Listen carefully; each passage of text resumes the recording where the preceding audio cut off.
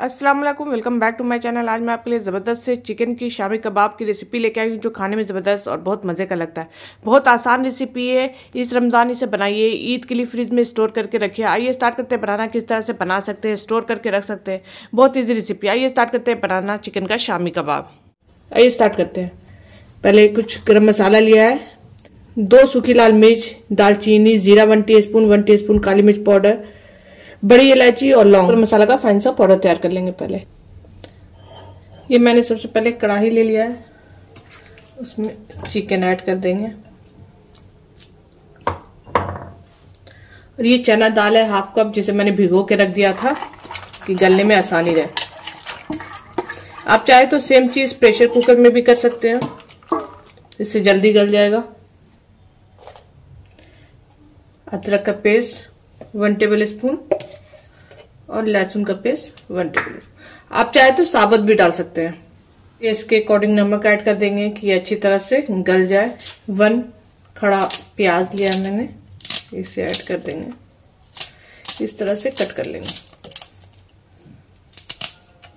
Gas on करते हैं और इन सबको अच्छी तरह से मिक्स कर लेते हैं। अब इसमें टेस्ट के अकॉर्डिंग रेड चिल्ली ऐड करेंगे। जो गरम मसाला पीस के रखा है, उसे। आप चाहे तो सब साबुत भी ऐड कर सकते हैं, इन सबको अच्छी तरह से मिक्स कर लेंगे।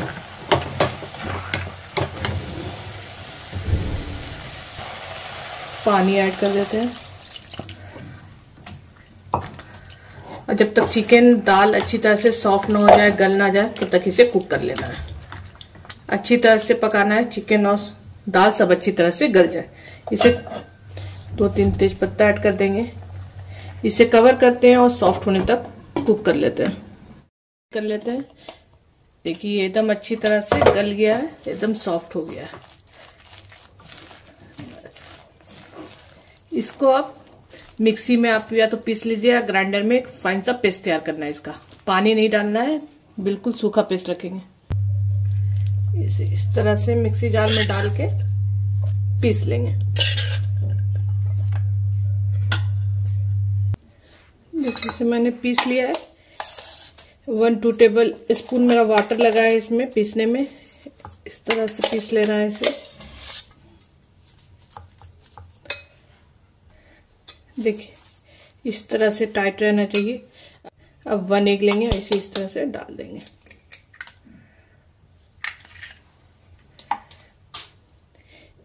धनिया पत्ती, हरी मिर्च। मिर्च टेस्ट के अकॉर्डिंग डलेगा पहले से बहुत सारी मिर्च डली हुई है।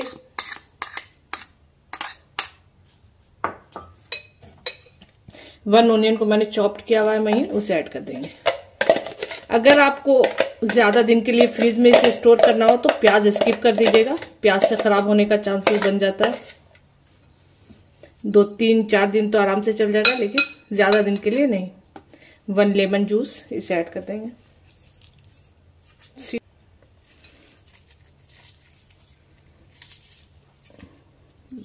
अब इन सबको अच्छी तरह से मिक्स कर देंगे। ज़बरदस्त और बहुत मज़े का शामी कबाब तैयार होता है। इसे बनाइए, स्टोर करके फ्रीजर में रखिए, जब दिल चाहे आप इसे यूज़ कर सकते हैं। अब हाथ में वायर लगा के जिस साइज़ का आपको बनाना है। इस तरह से मैंने सिल्वर फॉल ले लिया और ट्रे ले लिया है। इसे इस तरह से शेप आप कोई भी दे सकते हैं।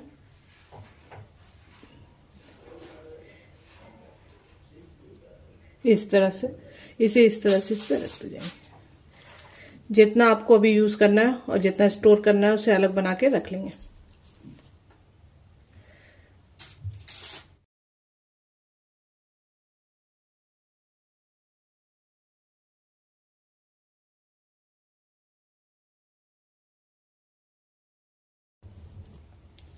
देखिए इतना मैं फ्रिज में स्टोर करूँगी, इसलिए मैंने इस तरह से बना लिया है। इसे टू आवर्स के लिए फ्रीजर में रखेंगे। इसी तरह से रख देना है खुला, कि अच्छी तरह सेट हो जाए। उसके बाद जिप लॉक बैग में इसे रख देंगे। इसे आइए फ्रीजर में रख देते हैं। और कुछ को मैं अभी बना के फ्राई करके दिखाऊँगी कि किस तरह से बनता है।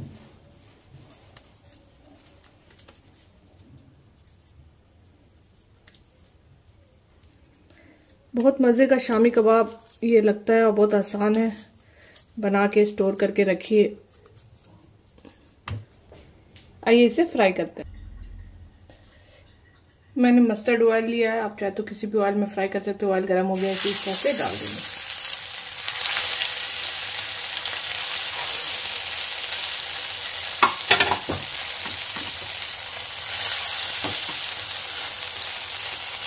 एक मिनट एक साइड इसी तरह छोड़ देंगे, उसके बाद इसे टर्न करेंगे। एक हो गया है, इसे टर्न करेंगे।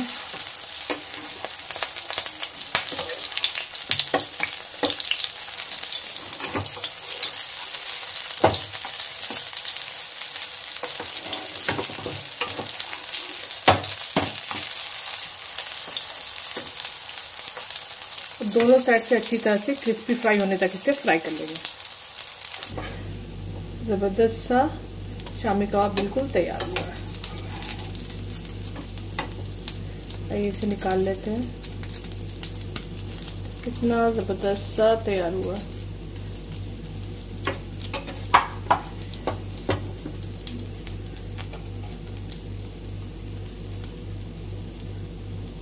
इसी तरह से बाकी बचा हुआ शामी कबाब भी फ्राई कर लेंगे।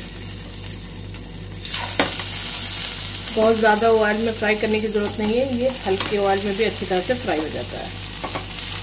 गैस धीमा रखेंगे। मीडियम गैस पे इसे अच्छी तरह से क्रिस्पी फ्राई कर लेंगे।